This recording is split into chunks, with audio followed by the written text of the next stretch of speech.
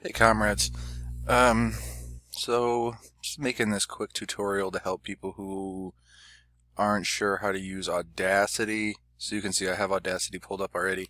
If you don't know how to download Audacity, it is free. So you just type in Audacity. You can see I have it already typed in because I downloaded it already, obviously. And um, yeah, this is where I went. I have Windows, so I went to here.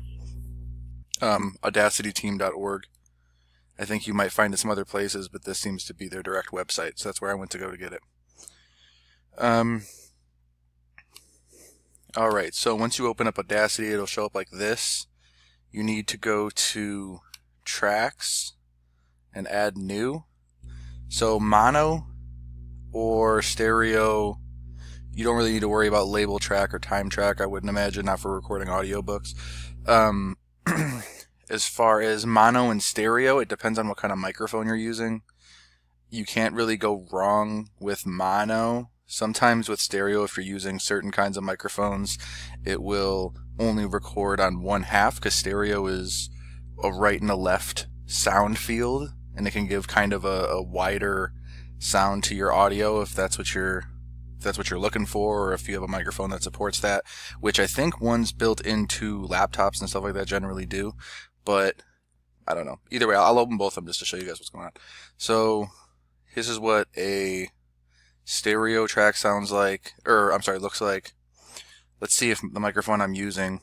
Yeah, okay. So mine does support stereo. That's cool. Right now, I'm literally using like a $20 microphone, that USB microphone, uh, headphone microphone that I got from like Best Buy or something years ago. Um, if you have a better microphone, whatever, um, or if you have no microphone, that's still okay. So, uh, so you can see it recorded what I was just saying. But if you want another track, or just to show mono tracks too, this is what a mono track looks like. Let's see if it automatically selects. I'm not, I'm not really 100% spun up on Audacity, so I'm learning a little bit as I go through this as well. But let's see. Oh yeah, so cool it's recording on this. See, the mono track has one instead of the two. I'm going to stop so I'm not talking over myself. Um, but you can see records multiple tracks. These are called tracks. This here is one track. This here is one track. Um, so if you start recording something and get to a place where you think it's good to stop and you just want a clear marker as to where you stopped or something, you could always, you know, um, open a new track, select a place to start, like right there, and let's, this should work. Yeah, and then it starts recording right there. Good. All right. Um, as far as editing, because I think that that was the point of discussion. Um, so let's say you want to cut this out. I don't know. You just don't want it there. That was where you stuttered or mispronounced a word or turned a page or something. So you can hit this. This is just the cut. And then it's going to automatically bump all of this over there. So if that's what you're looking for, you just have to be careful. I mean, you could always, I'm going to control Z right now. So if you can control Z, you can undo it and put it back. You just want to be careful that you're cutting it exactly where you want because it's going to automatically bump it over. So if you don't want a weird gap here of silence or something, then make sure that you are selecting it in a place that is the space that you're looking for. If you want it to sound like actual talking, you don't want it to be a clear click. If you cut in the middle of a word, a lot of the times you'll get a weird click or a weird audio noise, obviously, because if you're in the middle of saying something loudly and you cut it immediately to silence or to you saying something else, it's going to sound a little odd. Um, but you can get around this sort of thing as well. Um, I was just playing with it and I found it. Let's see. Uh, remove special. There it is. So you can split cut, split delete, silence audio, or trim audio. I'm not so sure. Let's just let's just play with it and see. So I think split cut is the one that I was going to say. So split cut, bam, yeah. So now you can. Uh, now you see that there's just this space here. And let's see, is there a grabber tool?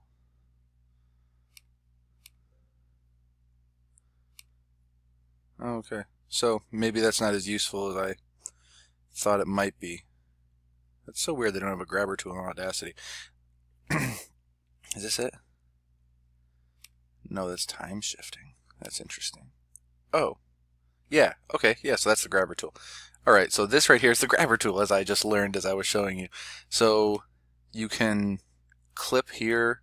Say you want to clip here, and then you listen to it, and you're like, ah, I don't really like the spacing. I want it to be a little bit more spaced out. You can pull it just a little bit, or if you're like, oh, I, I didn't notice I messed up this too. I meant to cut that. You can just, oh no, you can't. Okay, you can't slide it over. So you'd have to cut this too. And that's how you select, how you go back is by selecting this. So now you can select parts of the audio again, just like I was doing before. Um, let's keep playing with these and see. Split delete. Oh, okay. I gotcha. I gotcha. Okay, so split delete means that you are just deleting it. Split cut means it's going so you can like paste it. So that's what I just did. Is I control V'd, and this is what I deleted before. This is what I, what whatever the term that this program uses. Uh, split cut. This is what was split cut. So then it put it on so I can control it, so I could paste it. All right. Uh, silence audio should be self-explanatory. I think it just silences the audio of what you've selected. Yep. I control Z so we can still play with it. Um, and trim. Let's see. Why did it do that? I wonder. Let's do that again and see if it does the same thing. I think. Okay, so maybe this trim audio is you select what you want, and everything after what you want gets trimmed, so it just gets deleted. So you have to have stuff selected. Hmm. Comrades, I'm actually not really sure why what that is. Okay, so that's why, yeah. It deletes everything that's around it. Within a certain range, apparently. I'm not sure. Um, Audacity is good for a free program, so, I mean, it's definitely better than, like, generic one-track, uh, um, uh, audio recording devices that don't allow you to do this kind of cutting and stuff. I think that that explains most of it. I hope I didn't go too fast. If you do have any other questions, I'll try to answer them. There's a whole bunch of random tools on here. Like I said, I never got too much into using these. The program I use uh, is Pro Tools, but it's not free, obviously. Um, but yeah, and then when you're done, you can export it as an MP3. Export just means you're turning this file here, which is a bunch of sound waves. It's it's probably saves it's its own Audacity file of some sort um, into an MP3 file that you could upload or email or whatever, or a WAV file if you want to go with that. WAV files actually generally have better sound quality, but I think from what the conversations were earlier, it needs to be an MP3 to upload on the website. So, yeah. If you have any other questions, let me know. I don't know. This is just what I can think of off the top of my head as far as explaining how to use this stuff. Um, hope you all are doing good.